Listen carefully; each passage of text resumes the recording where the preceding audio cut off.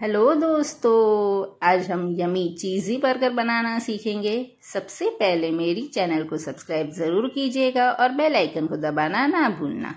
दो कच्चे आलू लिए हैं, जिसको छील के काट लिया है। गाजर, फ्रेंच बीन्स, पत्ता गोभी, प्याज और शिमला मिर्च, सभी को महीन काट लिया है। अब एक पैन में तेल गरम करने के लिए रख देंगे। फिर हम इसमें डालेंगे प्याज। इसे दो मिनट तक के लिए पका लेना है। फिर इसमें डालेंगे फ्रेंच बीन्स, गाजर, आलू। सारी चीज़ों को अच्छे से हमें सौते कर लेना है। फिर डालेंगे इसमें स्वाद अनुसार नमक और अच्छे से इसे मिला लेंगे। अब जब ये आधा पक चुका है हम इसमें डालेंगे पत्ता गोभी और कैप्सिकम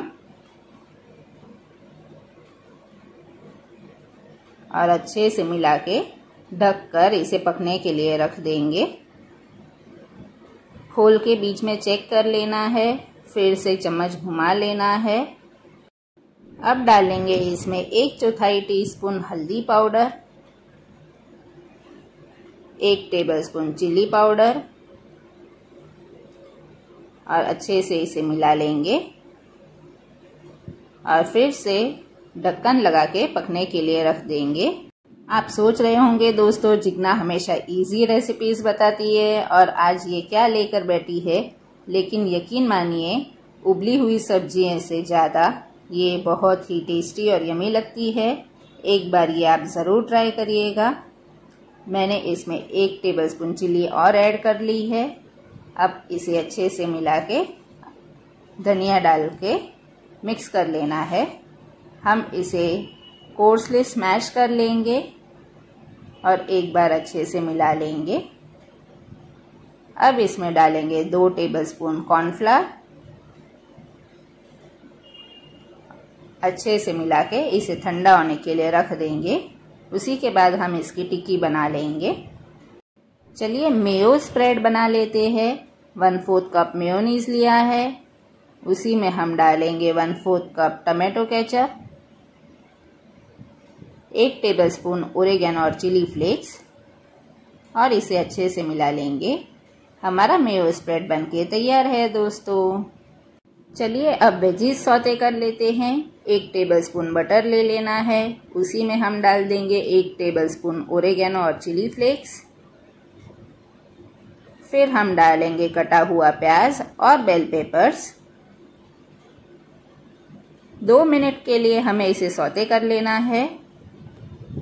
और हमारा मेयो स्प्रेड है, वो इसमें दो टेबलस्पून ऐड कर लेंगे और अच्छे से मिला लेंगे। हमारी वेजीज बनके तैयार है। हमारी बर्गर की जो साइज़ है, उसी के हिसाब से हमें टिक्की बना लेनी है। थोड़ी इसे मोटी रखिएगा। एक बोल ले लिया है, इसमें मैदा और पानी मिला के स्लरी तैयार कर लेंगे। दिखने में थिक और फ्लोइंग कंसिस्टेंसी वाली होनी चाहिए। अब टिक्की इसमें डिप कर लेंगे और ब्रेड क्रम्स में इसे रोल कर लेना है। इसी प्रकार हम बाकी की टिक्की भी रेडी कर लेंगे और तेल में तल लेंगे। हमारी टिक्की बनके तैयार है। आप देख सकते हैं ये कितनी क्रिस्पी और यमी बनी है। चलिए मैं इसकी आवाज़ आपको सुना देती हूँ।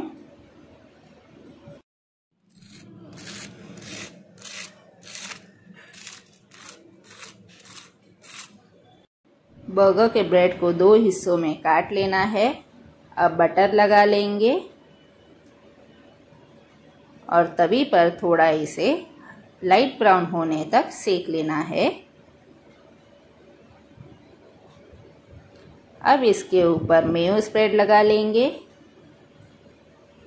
फिर रखेंगे लेट्यूस टिक्की रख देनी है।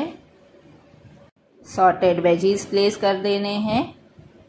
उसके ऊपर रखेंगे चीज़ स्लाइस और कवर कर लेंगे। हमारा यमी बर्गर बनके तैयार है दोस्तों।